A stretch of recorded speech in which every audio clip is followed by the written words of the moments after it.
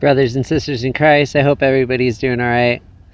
So, um, I haven't been keeping my phone on very often uh, recently in the past couple days um, at night because I've been spending a lot of time with the Lord and He's been showing me all kinds of things uh, that I want to bring to you guys. So, I just wanted to uh, let you all know that um, there's probably a, a video coming.